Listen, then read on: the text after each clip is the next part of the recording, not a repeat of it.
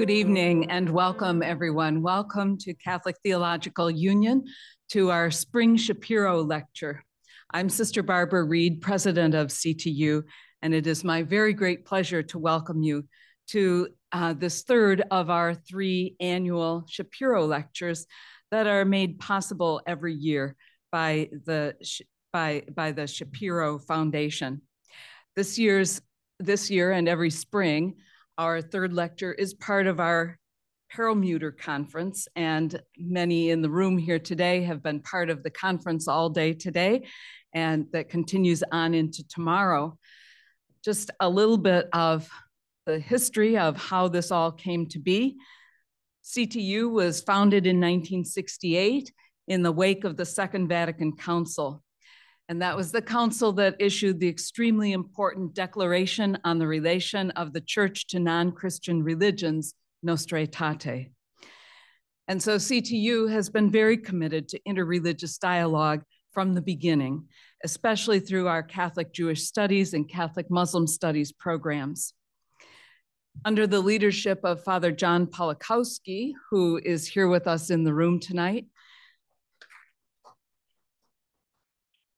Along with Rabbi Chaim Perelmuter, these two founding faculty members of CTU founded the Catholic Jewish Studies program, which became a hallmark of CTU. And we treasure the deep and lasting friendships that have been formed between CTU and our Jewish partners in the last five plus decades. Our annual two day conference in Jewish Christian dialogue is named in honor of Rabbi Chaim Goren Perelmuter, beloved member, member of our faculty from 1968 until his death in 2001. He also served during that time as rabbi at KAM Isaiah Israel. Since 2018, the Perelmuter Conference has been held in partnership with the University of Notre Dame, and we are grateful especially to Dr. Zvi Novick uh, for, for this collaboration. In 2001, CTU established a chair in Jewish studies made possible by a most generous gift of Lester and Renee Crown and Patrick and Shirley Ryan.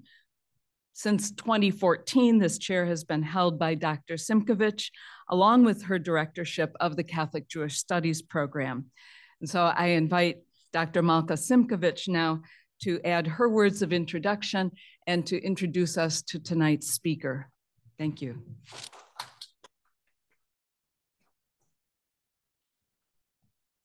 Thank you, Sister Barbara, and good evening to all of you. My name is Malka Simkovich, and I'm delighted to welcome you all to this year's Spring Shapiro Lecture. As Sister Barbara noted, this lecture is a uniquely special event that is part of our annual Shapiro Lecture series, which this year opened with Dr. Karma Ben Johanan's Fall Shapiro Lecture in November and continued with Dr. Joel Kaminsky's Winter Shapiro Lecture in March, in uh, January or February. It's been a long winter. It's also the plenary event of our annual Chaim Perelmuter Conference in Jewish Christian Dialogue, a conference dedicated to bringing scholars together from all over the world to share ideas regarding a particular theme. And this year, the theme is ritual in Judaism and Christianity. Our featured speaker tonight, Dr. Michal Bar Asher Siegal, is a scholar of rabbinic Judaism who works on many aspects of Jewish Christian relations in the ancient world. She is a faculty member at the Goldstein Goren Department of Jewish Thought at Ben Gurion University of the Negev, and she serves there as the vice president for global engagement as well. During the 2022 to 2023 academic year, Dr. Bar Asher Siegal was the Horace Goldsmith Visiting Professor in Judaic Studies at Yale University, and in fall 2023, served as Gruss Professor for Talmudic Law at Harvard Law School. I could go on and on, but I really have to keep these things short, so you should be grateful to me because the list continues. Her first book is called Early Christian Monastic Literature and the Babylonian Talmud, which won the 2014 Manfred Lautenschläger Award. And her second book is called Jewish Christian Dialogues on scripture in late antiquity, heretic narratives of the Babylonian Talmud. Dr. Bar Asher Siegal is a captivating speaker. You will soon find out for yourselves. And I so the bar is low. Don't stress out. It's and I so look forward to learning from her as she shares with us new avenues and new insights into the world of rabbinic literature.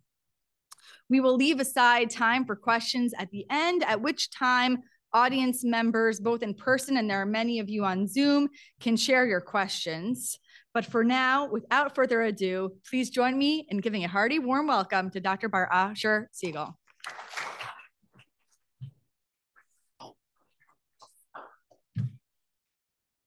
Hello. Good evening. Um,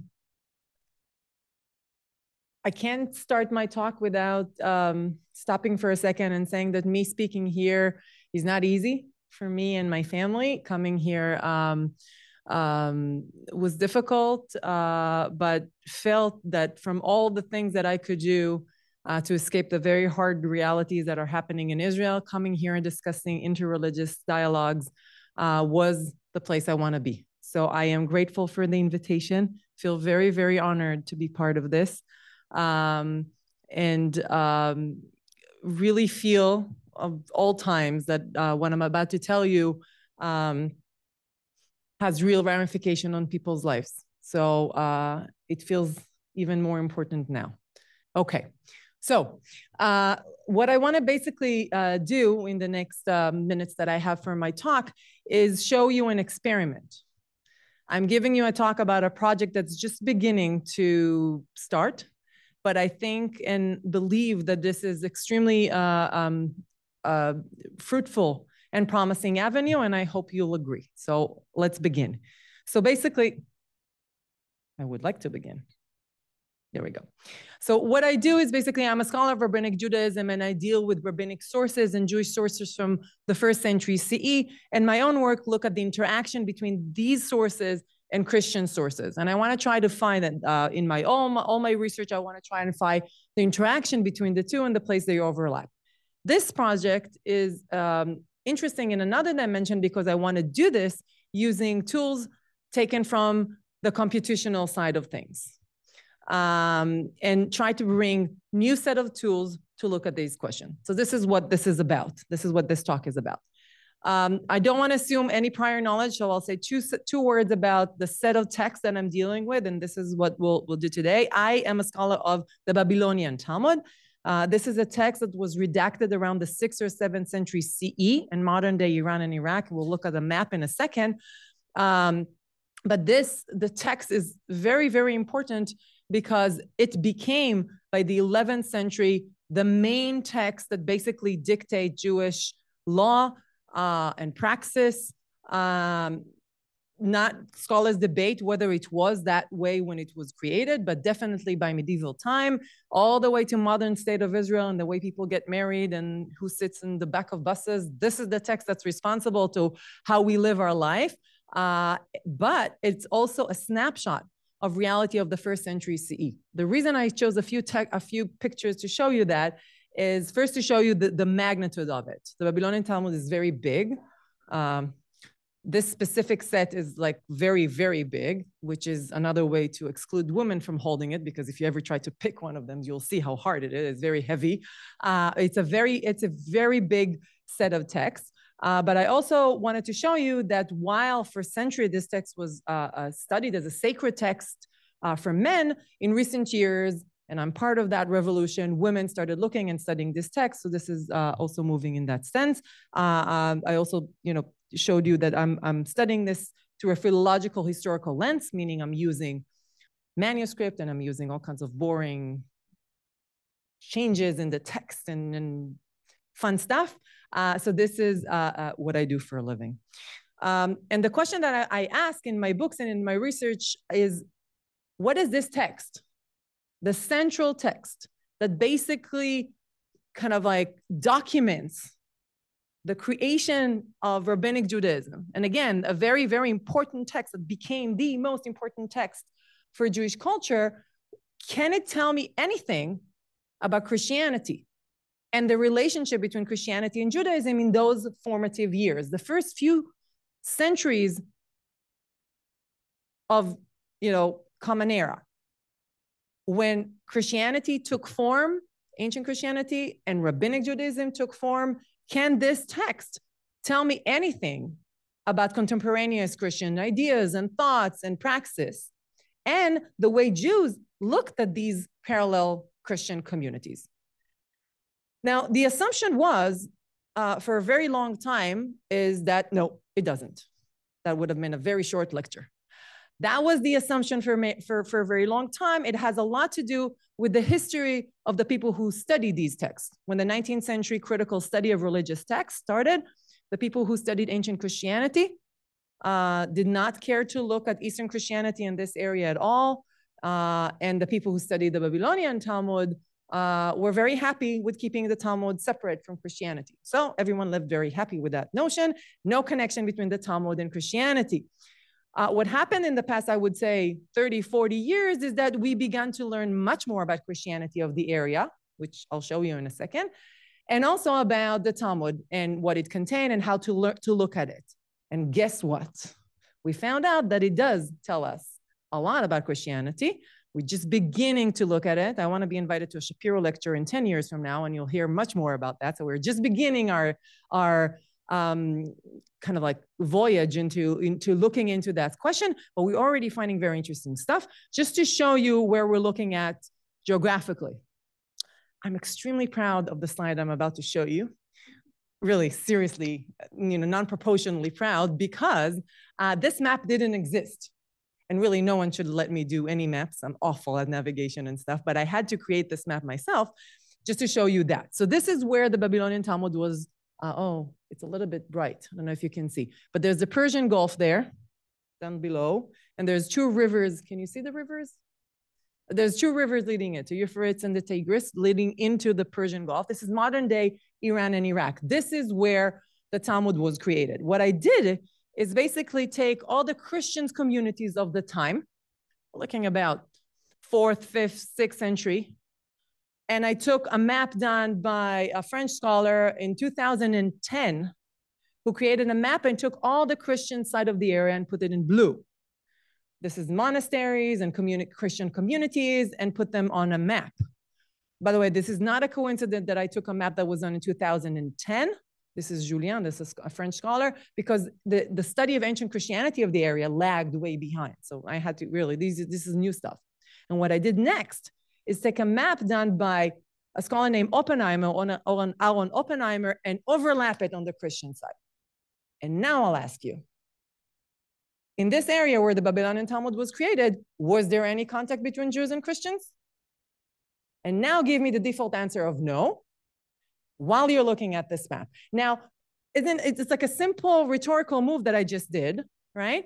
But the map didn't exist until I created it. And again, no one, no one should drive or use Waze according to my maps. Really, I'm awful at maps. But, uh, but, but just to show you that our default assumption should be a different one, just based on this map. Look at, I don't know if you, oh, this is awful, you can't see anything, but uh, uh, I don't know if you can see the names, but there's Machoza and Ehalda, etc. But uh, here, let me jump in.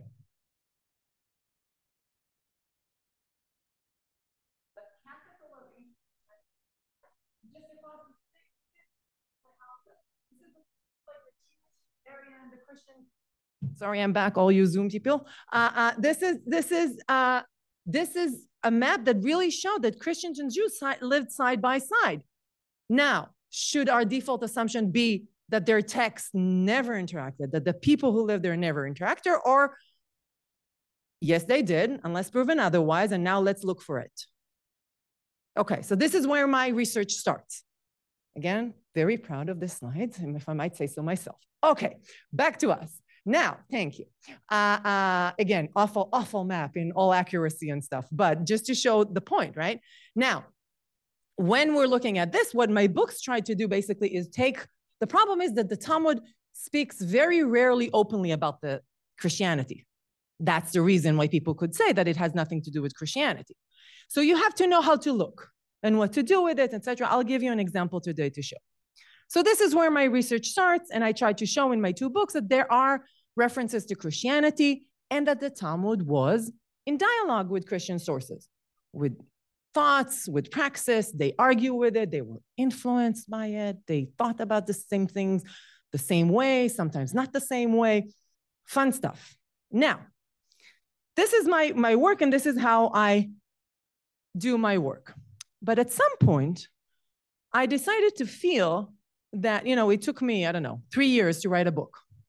And I wrote this book, uh, you know, I have five examples from the Talmud, and I show, I think, nicely that there um, connection between Judaism and Christianity. But then at some point, I ask myself, okay, would that lead me to answer the question did Jews and Christian interact with each other? Because how many examples would convince someone that they did? Is five examples enough? Do I need 10? Do you need 100? Also, if I find examples of polemic behavior, did they only argue? Is the way I'm looking at the sources enough to give me the real picture of it? If you're listening to my question, you understand that I'm slowly, slowly etching and getting to the conclusion that I need actually big data analysis, right? So I need a lot of data to try to answer a bigger question. And I can't do it the way I wrote my books. This is where I'm at. So I'm actually going to show you and try, to my project, which is actually using network analysis. This is what I'll show you. By the way, all you humanities people in the room, Fear not, I'll be very, very simplistic in my explanation because I know nothing about any of this and knew nothing before I started dealing with it, which is an optimistic sign to all of us that we can actually interact with you know computer science even though we're scared of it so just to, to those of you in the room that feel like me i'll explain everything but before i explain i actually want to give an example so you'll know what i'm talking about when i'm talking about jewish christian relations so i took an example from my book this is my second book jewish christian dialogue and scripture. It's a book that deals with stories about heretics, minim. Heretic walks into a room, argues with a rabbi. I kind of try to solve it and, and try to show that they're actually talking about Christian interpretation of scripture. Highly recommend the book, but back to us. I took, I, am going to take an example and show you what I mean when I talk about Jewish Christian interaction. So let's read a story. So the story starts, this is a story that's found in Tractate Chulin. It's about Rabbi Judah the Prince, who's credited for redacting the Mishnah. Um, he lived in the land of Israel at the end of the second century CE. Again, we're reading this in the Babylonian Talmud, which was redacted sixth century, seventh century CE in a different region altogether, modern day Iran and Iraq. But the story tells us that a heretic comes into a room, argue with him over scripture. The heretic goes away, and Rabbi tells him um, an answer. And he says, uh, Okay, I want to give you an answer, but give me three days and I'll be back with an answer because I don't have an answer. This is where we join the story. Surprisingly, Rabbi says to him, okay, take three, three days. And then the story tells us, and it's weird because the question is a simple one to answer and no one knows exactly what's happening there.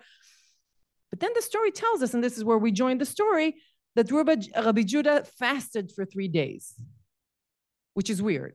We usually rabbis fast for other reasons. They don't fast as part of an intellectual argument. Don't try it at home, by the way. Doesn't work. But he fasted for three days right? And he waited for the other guy to show up. Now the three days are done and he's not back. So the story tells us that he was about to eat, right? He has, he's hungry, hasn't eaten in three days. And you, I can always like imagine him. I don't know if you've been to Tzipori in Israel. We have like one fancy house we think might have been Rabbi. No one knows, but you know, it's a fancy house, so why not? So you can imagine like a fancy house is rumored to have been very, very wealthy. So he's about to eat. So I imagine like a I don't know, in America, I don't know, a very Jewishy fancy meal with bagels and I don't know, lax, whatever. He's about to eat. There's a fork. Sorry, can't my imagination go that far with American food. But anyway, he takes a fork of food, is about to eat, really, really about to eat, and then someone at the door, I imagine kind of like a butler from like Downton Abbey, kind of a butler. He stands at the door and he's like, and he said to him, uh, the heretic is waiting at the door, right? He's at the very last minute of the three days the guy shows up. I used to say in the 90th minute until I realized that Americans have no idea what I'm talking about because you guys don't play soccer. So I don't know what's the equivalent of the very last minute of a football game. What a what a hail mary. I don't know what the, the last minute, right? Of the very very last minute. He's at the door. What would be my sports metaphor for that one? 90th minute. I don't know the last inning. I don't know. But the last. I'm I'm not gonna try. So and anyway, so he's at the door, very last minute, and he came. So remember, he's very hungry, hasn't eaten in three days. The fork of food is in his mouth. He's about to eat. and they say a heretic. So he's so frustrated. And when rabbis are frustrated, they use verses. So he's like, he's quoting Psalm and he says, oh, They gave me gold for food. For my thirst, they gave me vinegar to drink. I'm so hungry. They're giving me poison. They're, you know, giving me, I want to eat and I can't. But then a second heretic walks in. So the heretic that they announce is not the first one. It's a whole, uh, there's a play by Moliere called The Servant of Two Masters. I don't know. Americans do French Moliere, not so much. Okay. But anyway, I had to do it for my SAT, so I remember it very well. So the, the whole thing is based on like you have one servant and they're confused for a second one, and there's a two masters, whatever. That's what's happening here, right? We thought it was the first heretic, but in fact, it's the second one.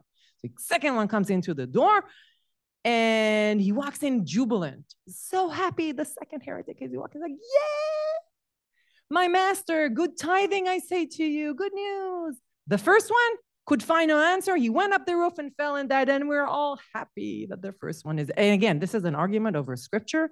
The guy fasted for three days. He's so hungry. And then the other one couldn't find an answer, went up the roof, fell, committed suicide. Weird story. I urge you to go to my book and read why it's not weird at all. And in fact, it's a, a very good story. But for my purposes, I want to focus on two things to show connection to Christian literature. The first is they gave me gold for food, the, the, uh, the quote from Psalms. And the second is the term good tithing, good news. Okay, this is just, again, to whet your appetite, to go buy my book. But for now, this is for my project. Don't forget, we're here for computation tool. What I want to do basically is take that first example and circle it as a dot. And I want to look at the verse he's quoting with he's frustrated. So the rabbi is frustrated and he quotes a verse. Now let's talk a little bit about the use of verses in rabbinic literature. So rabbis don't talk about all the verses in the Bible. They just don't. I found that out when I did um, my sabbatical at Yale twice. And every time I go and do my sabbatical at the religious studies department, the divinity school, I point out because it's up the hill at Yale, the divinity school asked me to teach a class there as well um, intro to rabbinics to divinity students and i always say yes and i love these classes they're wonderful i love interaction but the first the experience i did it for three times the experience the first time was very uh, surprising to me i found out that the old testament of my student the divinity was not my old testament they knew different parts of the bible they knew jeremiah very well or isaiah which I don't know at all. And they didn't know my Leviticus at all. So we knew different parts of the Bible. And it's the same thing with the rabbis and the patristic fathers. They're, they're, they really, you know, that they they have favorites verses and they're not the same. You know, the songs that we sing in the synagogue, not the same songs that they sing in church from the Old Testament, right? It's not the same. Same thing with the rabbis. So there's some verses that they read again and use a lot and interpret a lot, and some verses don't care about. Guess which verse they never, ever use in the entire rabbinic corpus whatsoever? This one from Psalms. The rabbis don't care about this one. They have nothing to say about this. They never ever quoted. The one story in the entire rabbinic corpus, when, when I say entire rabbinic corpus, I mean the entire rabbinic corpus, never ever used instead in just in this story, the one story that this verse is picked and used. And it's used funnily right? The rabbi says, oh, they're giving me vinegar. And it's funny, right? We all, I saw you, you were all like, you know, laughing, laughing. It was a funny moment, right? In the story. Guess who uses this verse very, very prominently? Obviously, this is a very prominent verse in the passion narrative of Jesus. This is the verse basically that Jesus used when he's on the cross, right before he dies on the cross. Because Jesus says, and John is one example for that, he says, I'm thirsty, and a jar of vinegar was standing there, and they put a sponge on it. And Jesus says, It is finished, meaning scripture has been fulfilled in him. And scholars think that this is the verse that's you know that's used. This is has the, I don't know, one of the most central verses in this is it. So someone basically took this verse that represent the suffering, right? The moment before the death on the cross and use it humoristically, satirically, not very nicely, by the way, to describe the rabbi's misery, right? They're crucifying me, those Christians, right? When they're walking through the door, right? That's what they're doing basically by pulling this verse, which they never use, and doing it kind of like a verse. But for my purpose, I want to basically do a dot.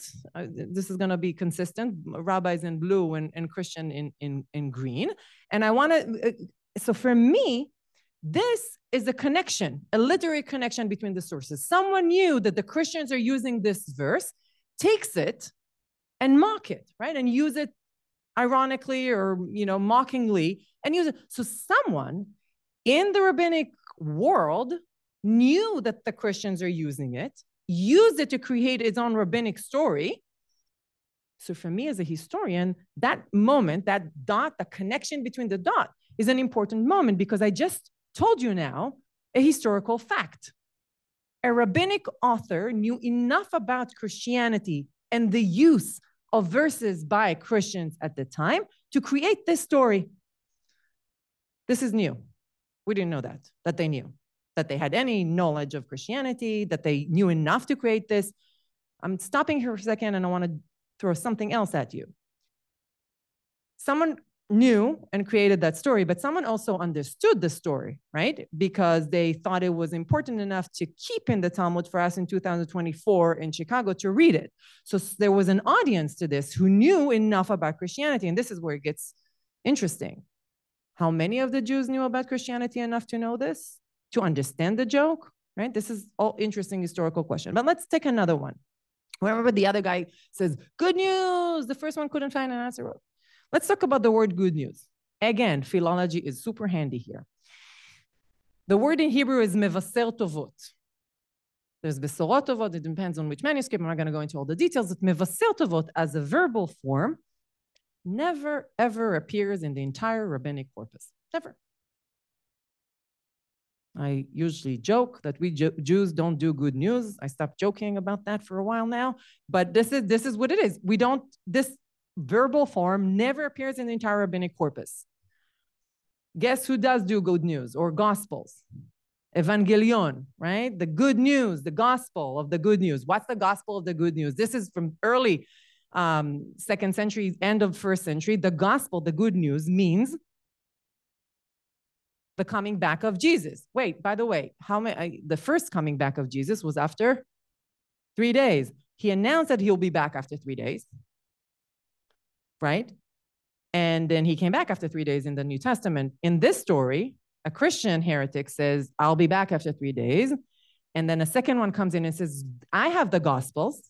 The guy who said he'll be back after three days, well, he's dead. He's not coming back after three. That's our good news, right? Someone is taking the word good news, evangelion, which is never ever used. This term is a specific Christian term to refer to someone announcing his coming after three days for the first time and then the final coming, but announcing this and taking it and using it exactly the opposite to mock and say, oh, he'll say he'll be back after three years. In fact, he's not, right? So he's taking this verse. So philology helped me decipher the fact that whoever wrote this story to mock Christian beliefs, again, not very nicely, but for my purposes, I've just proven or proven, tried to prove, or we're doing humanities, we don't prove anything, but I'm claiming that whoever wrote this story was mocking Christianity because they knew enough about Christianity's traditions to take the term evangelion, to take the, the term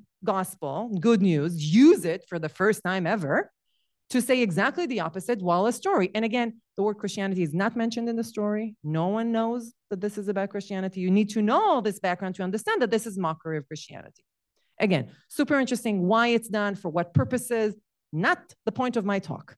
My point of my talk is to talk about how do I answer the question? Don't forget, this is where we started. The big question How representative is this of Jewish Christian interaction in the first century CE in that area? How representative it is of the knowledge of the rabbinic authors, audiences at that time of what's happening in Christian communities. That's my big question. And this is where I turn to basically quantitative question. How much Christianity of the Talmud is this? I did five stories in my book. It took me a long time to do five stories. And then I did, I don't know, whatever. My first book did with monastic literature of the monks another, I don't know how many stories, right?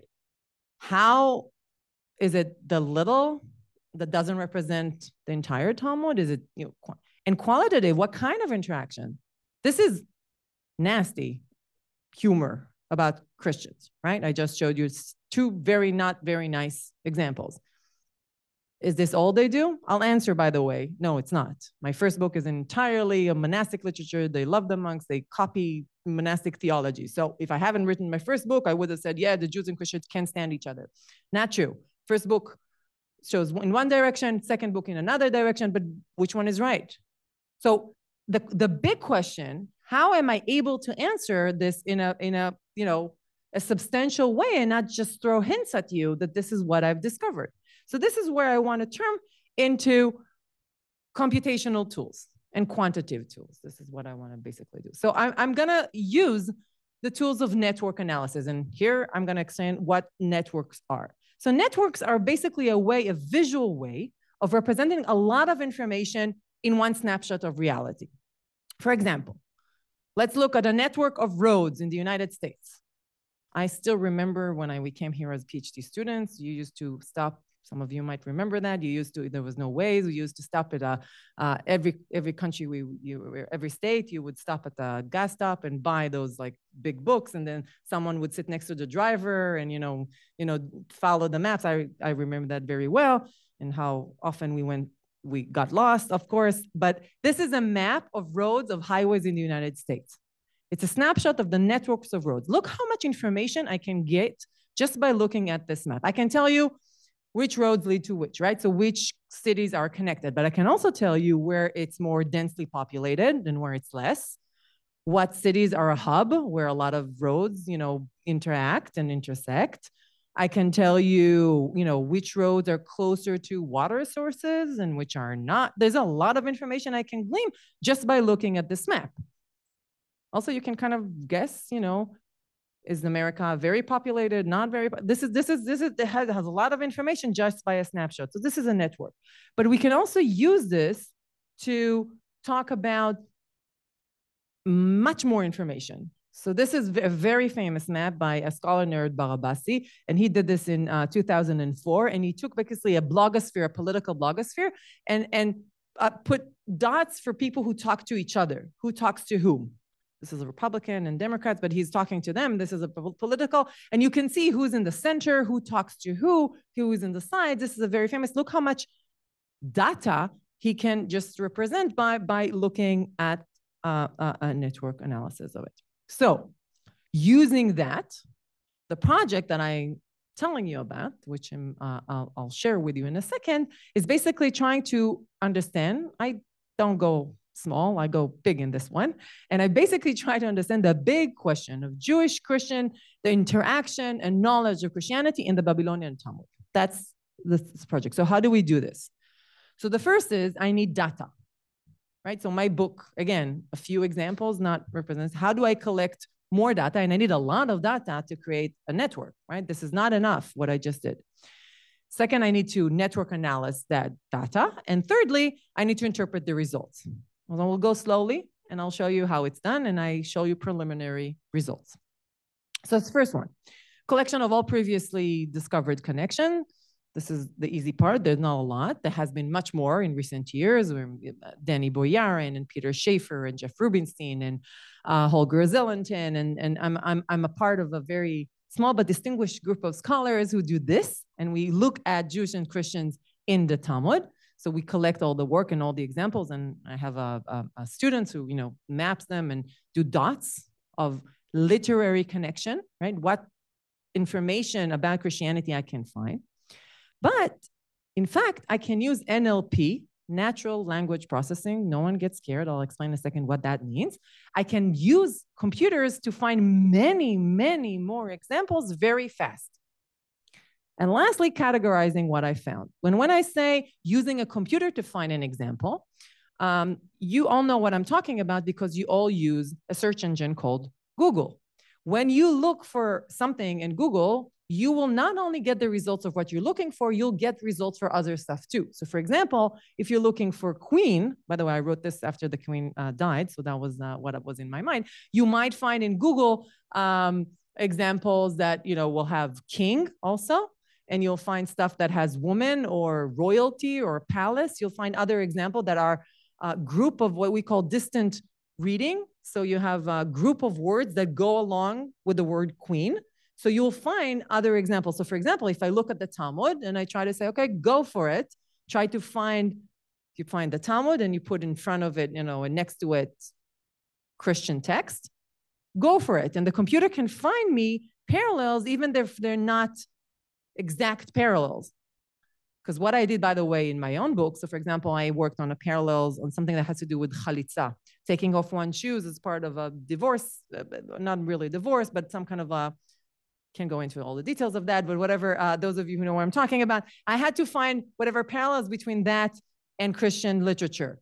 So I had to go and look for shoe, when you take off the shoe in the ceremony. So you take, I, I had to go for shoe and sandal and footwear and I had to, you know, I had to go through and look for the words and find the parallels in search engines, which by the way is already an advancement because, you know, I couldn't do this work without search engine in Christian literature, but I, you know, I could do that, but I had to look for all the words and also in Greek and in Latin and in Syriac, and I had to go through this. Computer now can do this on its own because it can look for all those words without me having to go through the search and, and look for everything. So that actually makes it. So there's going to be a lot of data that is not real parallels, but at least we're advancing much faster than we would by using Michal and her search engines, right? So this is a huge development and all the technology is already in place. We have the search engines, we can do this. Not only that, the fact that we have Google as search engine like we can actually use um, translations and not just the original languages and I can use old, old translation that use, you know, fancy King James Bible kind of wordy and like new, because once we do this like distant reading, it doesn't have to be the same word, right? So we can, we can do this and it's already there. I want to show you uh, by introducing you to my friend Yossi Yovel. This is where I have to uh, uh, insert bats into the picture. Uh, in, in a second, I'll explain. But basically, what I want to show you is I did that. I took examples from my book, not, not done by NLP, but by hand, what I do in my book. And I wanted to show the potential of such a method, right? So I'll, I took all the examples in one of the chapter, chapters of my book, and I created a network. Again, this is a very small scale example. But um, for this, I turned to my friend Yossi Yovel. So Yossi Yovel is the head of the Sagol School for Neuroscience at Tel Aviv University, and he's a scholar of bats. And the reason that we work together is because we were both uh, members of the Young Academy of Sciences in Israel, and we became friendly, and we, uh, uh, he's very funny, and we have the same sense of humor, so that worked. Uh, and then COVID hit and we were talking to each other and he said you know we're all home and and, and looking and he said can i join your class on jewish christian? And i said yes and i obviously made my kids listen to all his bats talk. At that point i don't even know if you remember we were all looking for you know stuff to do with our kids so my kids learned a lot about bats that year because of yossi but yossi joined my class. And at some point he says to me by the way, you should do the map. That was Yossi's ideas. I need, I give him always credit for that. And he also said, let's do network analysis. And why? Because he does network analysis with his bats. Let's look at this map here, which we can't see because it's too far. But Yossi does network analysis for his bats. What does he do? Yossi has um, Moshava, help me out, Zvi. Uh, colony, colony of uh, Tzvi is not helping at all with Hebrew and with English today. So I have a colony of bats in Tel Aviv University. And uh, what's unique about his colony of bats is that they're free to come and go as they free. This is the first time he's done, and he's able to watch them very carefully. He has a, you know, uh, uh, cameras. You can actually log on and see his bats, and they go in and out, and he can do all kinds of research on them. Uh, and in this study, he asked the question: Is there a connection between um, sexual intercourse between the bats and food. So would a bat uh, who gives uh, a male bat who gives food to a female bat uh, would more likely get uh, sex from her that night, right? So would, would that work? Would sex sex for food kind of research? Doesn't matter. It's very cool actually. But look at his. So he he has he mapped his bats. There's so the the the the more um, uh, bright one, the the the um, not the dark circle, but but the whitish uh, um, squares are female bats, and the uh, more darker squares are male bats, and you can see who's connected to who, right? And what direction that the who who gave food and who got intersect, you know, in uh, uh, uh, sexual interaction uh, that night, and you can see who, who's connected to who, right? And you can see a hub who's very, you know, very, very interesting research. But look how much you can learn from this like one snapshot, right? You can really answer a good question. Do, do bats do that or not? And who does it and in what way? And you have all the names of the bats, by the way. I don't know if you can say one is four points. Um, by the way, my kids got to name bats that uh, um, uh, COVID year. That was very exciting. I, I was very uh, famous with my kids from then on. Uh, uh, but this is, you know, this is this is a bat. So Yossi says, let's do that for your Talmud. By the way, this is uh, I, adding something to you. I was thinking uh, this morning uh, that we're doing the solar eclipse, and I asked uh, Yossi, does bats act weirdly on solar eclipse? And that's what we found out that they don't. That's just so you know, I thought that would, would work well. If we're talking about bats already, just so you know, they checked and they don't act weirdly on uh, solar eclipse. So we learned something about bats today. Okay, back to us. What Yossi and I did is basically try to show the importance of network analysis of the, the sources that I find. So this, this is the first network that we created. By the way, so we met once a week for two hours every week and it took us it looks very very simple you don't know how much work went into that it was incredibly difficult to work with someone who's used to saying a dot is a male bat, bat and a dot is a female bat and that there's a line because if they had if they gave him food or not now, what's your dot? He asks me. And I'm like, what do you mean? I wrote 30 pages about that dot. He said, do they know this is source? Did they not know the source? And it was very, very difficult to bridge the gap between exact sciences and humanities. It was very painful. Um, to the point of, you know, uh, we, we very close friends, but it took work on that one because it was very, very hard to create. But this is the final result. What we did is we took the chulin, this is the green one in the middle, and we basically connected it to all the tradition that we can find. You can find the Evangelion one, the gospel, right? You see? But gospels in two meanings, both the book itself and the good news. So this is one. You can see the time, there's a timeline around, right? So if the tradition appears late, uh, you, you start here uh, I don't know if you can see my hand. You start uh, down below and you go all the way to the top to the, sixth, to the sixth century, beginning of the sixth century. Why? Because there are some references to the Holy Spirit that did not appear before the fourth and the fifth century, comma. The Talmud purportedly talks about a sage that lived in the second century, but shows evidence of Christian knowledge of tradition that could not appear before the fourth and the fifth century. So super interesting for the dating of the Talmud finishing whoever got that got that and if not not but that has a lot of ramification for dating. But just so you, you see now also i could use the, the the the the thickness of the line. How sure am i of the connection right? How sure am i that they knew right? So i could play around with that as well. Um, also if you see the dots in the blue change color because i also map them geographically.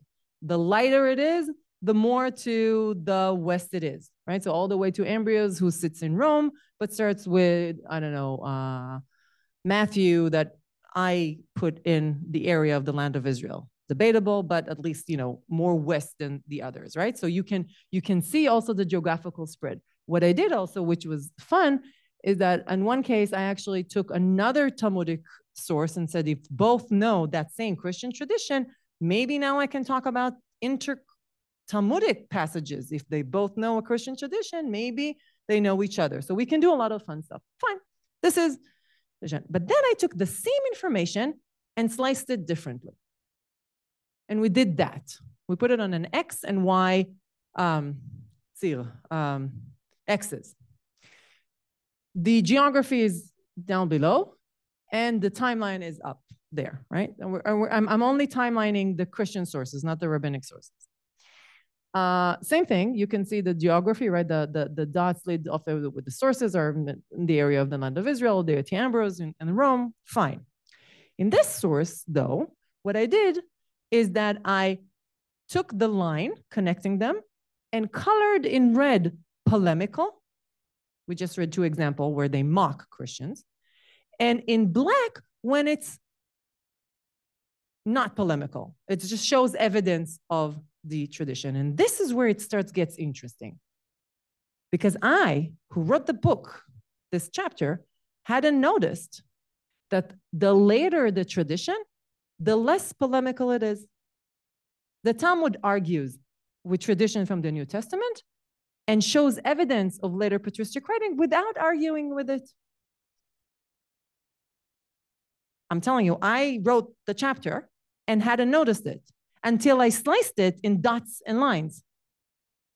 Let's do some one more that I found out when I did it this way. I also noticed, I don't know if you noticed, that the later the source, the more widespread it is geographically.